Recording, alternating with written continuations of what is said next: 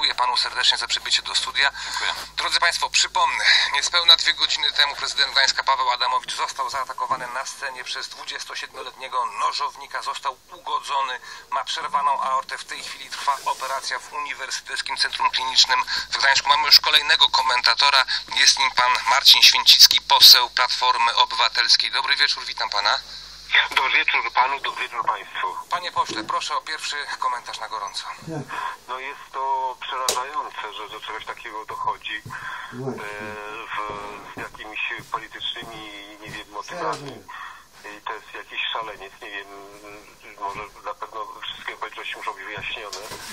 Dzisiaj trzeba się modlić, żeby Paweł Adamowicz z tego wyszedł. Co robiła w tym czasie jakaś ochrona, Tak. jakaś, jakaś, e, chyba to przecież nie odbywało się tak Wiemy, że impreza była zabezpieczona przez ochroniarzy, policji tam nie było. Zgodnie z wymogami, z wymogami ustawy byli tam ochroniarze. No tak, ale, ale, ale mimo wszystko ci ochroniarze w takim razie jakoś się nie sprawdzili. No, w każdym razie e, zabezpieczenie chyba jakieś było niedostateczne, bo to się nie, nie stało gdzieś w tłumie, tylko na, jak rozumiem, na oczach e, tysięcy ludzi na, na środku sceny, więc to jest jakieś oszałamiające, że, że to nie te czynniki e, odpowiedzialne za bezpieczeństwo tutaj nie zadziałały. No to w ogóle to jest też e, wszystkie aspekty muszą być zanalizowane temu. E, Czemu na przykład tam w ogóle policji nie było przy takiej wielkiej imprezie. E, No, czasami jest bardzo wiele ochrony, a, a, a czasami nie ma jej w ogóle. No teraz najważniejsze jest to, żeby po prostu lekarzom udało się wyciągnąć Adamowicza z tego, żeby nie doszło do jeszcze większej e, tragedii. Em, A mam nadzieję, że tego sprawcę spotka sprawiedliwy wyrok. Czy nie boi się pan, że ta próba morderstwa wpłynie na zaostrzenie temperatury sporu politycznego w Polsce? Bo to jest coś, co między nami komentarzami, tak teraz sobie, komentatorami, tak teraz sobie też rozmawiamy poza anteną. Boże, co tu się będzie działo teraz w Polsce? Ja bym chciał odwrotnie, żeby, żeby, żeby to właśnie wpłynęło na, na uspokojenie, na mniej języka nienawiści, na, na więcej po prostu jakiegoś szacunku do innych osób, nawet jak się różnimy poglądami, pro- propozycjami, programami, to po prostu nie można siać nienawiści. E, Tego jest za dużo w naszym życiu. Mam nadzieję, że, że, że tragedia wpłynie na jakieś otrzeźwienie e, tych, którzy taką nienawiść e, e, szerzą, którzy szczują. Kłóćmy się na, na, na poglądy, na programy, ale nie szczujmy jeden przeciwko drugiemu. Wierzy pan w to, że to jest realne? Pamiętam po morderstwie Marka Rasiaka w, w Łodzi, działacza Prawa i Sprawiedliwości. To był rok 2010. Wtedy, wtedy, wtedy wszyscy myśleli, że to może też wpłynie na uspokojenie nastrojów, ale one potem dalej eskalowały. Ta wojna polsko-polska była coraz większa. Ale czas w końcu na otrzeźwienie, czas na to, żeby skończyć wojnę polsko-polską. Kłóćmy się na programy, na rozwiązania, na oceny, ale nie siejmy nienawiści jeden do drugiego, nie szczujmy jeden na drugiego. Szanujmy naszych przeciwników politycznych czy innych e, dyskutantów. e, e, Walczmy na argumenty, ale nie walczmy z osobami, nie walczmy z ludźmi, nie walczmy jeden przeciwko drugiemu.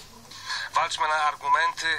To są słowa pana Marcina Święcińskiego, posła Platformy Obywatelskiej. Dziękuję panu serdecznie za komentarz. Drodzy państwo, minister spraw wewnętrznych e, Joachim Brudziński napisał na Twitterze, że sprawca został zatrzymany. Konsekwencje dla, konsekwencje dla niego muszą być jak najsurowsze. Prezydenta trzeba teraz otoczyć, prezydenta Ada- Adam, Adamowicza, dobrymi myślami i życzyć, aby powrócił do zdrowia. To są słowa Joachima Brudzińskiego. Mamy kolejnego polityka na linii. Jest nim pan Tomasz Rzymkowski, poseł Kukiz 15. Dobry wieczór panu. Dobry wieczór, panie redaktorze. Panie pośle, nie wiemy, niewiele jeszcze wiemy o motywach sprawcy. Większość myśli, no prawdopodobnie był motywowany politycznie. Wykrzykiwał na scenie, że przez Platformę Obywatelską siedział w więzieniu w czasach rządów Platformy, że był w więzieniu torturowany. Co pan o tym wszystkim sądzi? Przede wszystkim w ciężkim szoku jestem. E, Ja dowiedziałem się dosłownie 20 minut temu e, o, o, o tej tragedii, bo, to jest rzecz niebywała, e, aby czynnego polityka podczas e, no, koncertu charytatywnego e, zaatakować nożem. No i wiemy, że stan pana prezydenta jest, jest bardzo ciężki. Mogę się tylko łączyć tutaj modlitwą z nim i z jego bliskimi, bo mogę tylko no, domyślać się, jakie tam są straszliwe emocje. Natomiast no, państwo polskie wszelkie okoliczności tej sprawy wyjaśnić. Motywację tej, te, tego szaleńca, e, czy też osoby, która no, wykonała e, no, rzecz podyktowaną jakimiś innymi pobudkami. To, to trzeba wyjaśnić. To, to trzeba wyjaśnić, ale też to pokazuje, jak agresja e, no, ten obecny spór polityczny w Polsce, jakich emocji dostarcza obywatelom. Nie jesteśmy w stanie w tej chwili nic e, co targnęło tym młodym 27-letnim e, mężczyzną, o bogatej również, co wiemy już z komunikatów policyjnych, e, kartotece. E, To ja panu może na chwilę wejdę w słowo, bo to jest informacja za Gazetą Wyborczą. Nieoficjalnie wiadomo, że napastnik to ta sama osoba, która kilka lat temu została skazana za cztery napady na placówki bankowe w Gdańsku. Za każdym razem wykorzystywał moment, gdy w środku nie było klientów, wyciągał wtedy za pasa spodni broń, rewolwer, naboje hukowe, zastraszał personel i zbier- zabierał z kasy pieniądze. No to może wskazywać na kryminalny motyw. No, tylko pytanie, dlaczego akurat p- prezydenta Gdańska zaatakował tak bestialski sposób? To jest y, rzecz niebywała. No, co ma wspólnego e, system bankowy z prezydentem Gdańska? E, Rzeczywiście, no, tutaj y, rzecznik Komendy Miejskiej Policji e, informował, że ta osoba była notowana, była skazywana za, za rozboje e, i odbywała kary. Dopiero niedawno opuściła zakład karny. To też pokazuje na jakąś słabość polskiego e, systemu penitencjarnego, że osoba opuszczająca zakład karny nie została w sposób właściwy. No co jest w więzieniu? Mordy, które lubią siedzieć w więzieniu, lubią mieszkać, ja dlatego mówiłam. Niech sędzina sama się wybierze do więzienia. Ale ja mówiłam wielokrotnie, niech sędzina sama się wybierze do więzienia, jeżeli lekkomyślnie tak ludzi tam sprzedają, bo ludzie, którzy są dobrzy, pojawią się w więzieniu, a wychodzą tacy, żeby jeszcze raz chcieli kogoś zamordować. No niestety taka prawda. No to jest. Wstrząsające. Ta, mędy są w więzieniu. Tam są takie typy, że po prostu głowa mała. To trzeba być odpornym psychicznie. Ludzie, którzy są świadkami Jehowy, ludzie, którzy no, nie zawsze są odporni psychicznie. A katolicy, wiesz, dziady katolickie się leją, biją, katują. Tacy są ludzie i taki jest świat. No i co? Mając nadzieję, że lekarze, chirurdzy e, pokonają to niebezpieczeństwo. Wiemy, że jest pęknięta aorta. Panie premierze, to jest pytanie, które zadaję wszystkim moim gościom tego wieczoru. Boimy się, że ta próba zabójstwa spowoduje, że ten spór w Polsce zamieni się w coś nieprzewidywalnego już właściwie, że tu już same słowa nie wystarczą, tu już zaczęły być czyny i to czyny karygodne. No No, właśnie. no tak, ale ja słyszę, że tutaj podtekst polityczny nie występuje Ja, tacy są ludzie, no w tej sytuacji, bo Co się okazało, co się objawiło? jak słyszę, był Tacy są ludzie. kryminalną przeszłość, prawdopodobnie jest e, emocjonalnie niezrównoważony i e, Nie jeden taki jest, nie jeden taki jest. no, Po więzieniu takie są mędy. Ja sama wzywałam policję do domu do Mareczka, bo dwie mędy sprowadził ze, z tego, e, z, z więzienia. A ta policjantka mówi, jakie mędy, jakie mędy?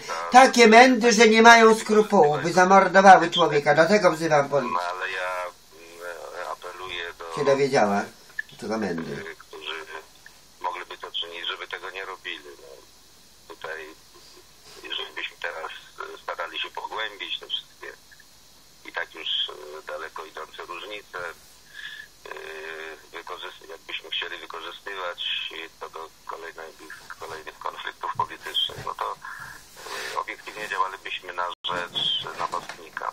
Czy myśli pan, że nasza klasa polityczna użyje tego sformułowania, zmądrzeje po tym wszystkim?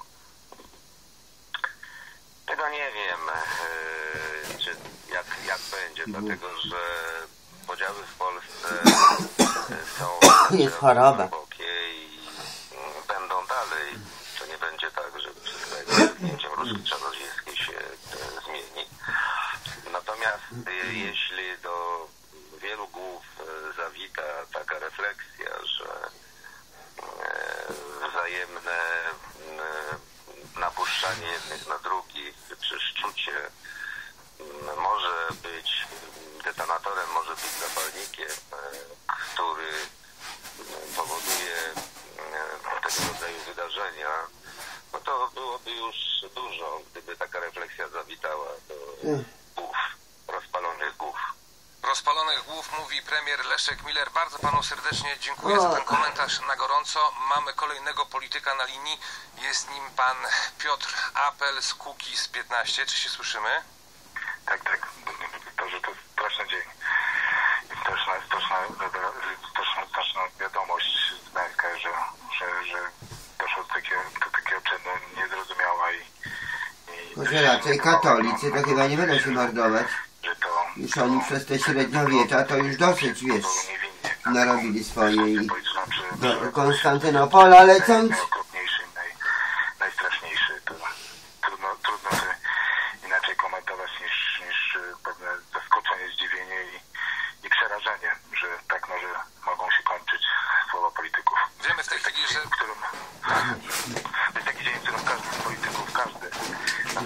który jakiś czas. się nie uczestniczyć w tej wojnie plemiennej, nie uderzyć się w piersi i pomyśleć nad tym, co do tej pory mówił i w jaki sposób walczył z przeciwnikami politycznymi. kiedy czytam teraz komentarze w internecie, to aż włos się jeży na głowie. Bożeż drogi, próbowano zamordować zgadzam się z nim, czy się z nim nie zgadzam, ale to była próba morderstwa. To było totalne zezwierzęcenie. I na tym Twitterze pojawiają się rzeczy, no, niegodne oczywiście cytowania. Skąd to się bierze, panie pośle? Czy to za To politycy... nagle rzeczy nieprzewidywalne i człowiek nie jest w stanie przewidzieć. Co może być dalej? z głównych y, winnych, Nikt nie jako podskakuje. politycy, jako klasa polityczna. I jeżeli my w sposób bardzo wyraźny nie uderzymy się w pierś i nie powiemy, y, nie poddamy dobrego przykładu, no to, to, to może naprawdę skończyć się coraz gorzej. Już jest drugi przypadek tego typu w Polsce, kiedy, y, kiedy y, no, zdeklarowany zwolennik jakiegoś ugrupowania rzuca się na, na politykę i próbuje O. e, w tym wypadku skutecznie, w tym mam nadzieję, że ono odmówi całą z, z, z, tej, z tej trudnej sytuacji zdrowotnie. E, no, to jest niebywałe i i też e, czy- czytając e, nawet komentarze pod tymi artykułami, to, to, to, to jest taki ściek e, nienawiści, tak paskudny, paskudny, e, paskudny rynsztok polityczny, że, że, że naprawdę Po co to podkreślać? To wiadomo. Dziękuję panu serdecznie. Piotr Apel z Kukiz 15 komentował dzisiejszy dramat w Gdańsku. Przypomnę, dwie godziny temu na scenie finału Wielkiej Orkiestry Świątecznej Pomocy w Gdańsku prezydent tegoż miasta Paweł Adamowicz został ugodzony przez 27-latka. Jak się dowiadujemy o przeszłości mocno kryminalnej, siedział w więzieniu za różnego rodzaju rozboje, e, między innymi za wymuszanie w sklepach, gdzie zastraszał używając rewolweru. I ostatni nasz komentator dzisiaj to pan Jakub Jałowicz z gościa niedzielnego. Dzień dobry, dobry wieczór właściwie. Dobry wieczór. No nie tak chcieliśmy, żeby dzisiaj wyglądała niedziela. Nie tego oczekujemy od polskiej polityki, żeby tak ona nas, nas poruszała takimi tematami. No rzeczywiście to jest coś, co e, jeszcze kilka lat temu wydawało się nie do pomyślenia. Teraz mamy e, drugi atak e, fizyczny, bardzo niebezpieczny na, na polityka. No, w pierwszym wypadku że zakończyło się to tragedią, śmiercią po, po ataku w Łodzi na, na biuro PiSu. Teraz no, miejmy nadzieję, że, że jednak e, Paweł Adamowicz zostanie uratowany. Mm, Aczkolwiek z tych doniesień, które mamy, rzeczywiście obrażenia są bardzo poważne. Trudno powiedzieć, co tak naprawdę e, tym, tym człowiekiem w tej chwili jeszcze. Bo e, z jednej strony faktycznie miał przeszłość kryminalną, z drugiej jego zachowanie wskazywałoby na jakąś niepoczytalność, jeżeli nie uciekał z miejsca zbrodni, tylko później jeszcze, jeszcze mówił do mikrofonu, ale to już, no to już nie chcę biegłych wyręczać, niech, niech oni go badają. E, Co tak naprawdę, e, być może ten człowiek oczywiście coś udaje, tego, tego jeszcze nie wiemy. E, Natomiast, Co udaje? Natomiast tak Diabła przez- udaje. pierwszych chyba też 20 lat trzeba Rzeczypospolitej taka rzecz, taki, taka forma ataku na politykę wydawała, wydawała się kompletnie nie do pomyślenia. Teraz niestety po raz drugi do czegoś. Pomyślenia mówi Jakub Jałowiczor, gość niedzielny. Dziękuję panu serdecznie. Drodzy państwo, zmierzamy powoli do końca tego smutnego, specjalnego wydania audycji Świat 24 na antenie Polskiego Radia 24. Może jeszcze dwa tweety. Kacper Płażyński, były konkurent o fotel prezydenta Gdańska z ramienia Prawa i Sprawiedliwości, napisał tak. Atak na prezydenta Gdańska to barbarzyństwo. Liczę, że Paweł Adamowicz szybko wróci do zdrowia. Życzę mu tego z całego serca. I ja jeszcze może przypomnę państwu, co napisał dziś wieczorem prezydent Polski Andrzej Duda. Zwykle różnimy się z panem prezydentem Pawłem Adamowiczem w poglądach, jak powinny Po być co to gadać tam? publiczne i sprawy Jezu. Polski. ale dziś bezwarunkowo jestem z nim i jego bliskimi, tak jak mam nadzieję wszyscy nasi rodacy. Modlę się o jego powrót do zdrowia i pełni Co to Drodzy w takim dniu, przyłączamy się oczywiście do apelu pana No prezydenta. matko. Modlimy się o powrót do Nieprzytomny leży, go reanimują, ta operacja to. Drodzy słuchacze, za chwilę serwis informacyjny i więcej szczegółów na temat tego dramatycznego wydarzenia. Świat No 24. Ogłoszenie społeczne. Polio, Jezu. teraz krztusie psip w naszym stawie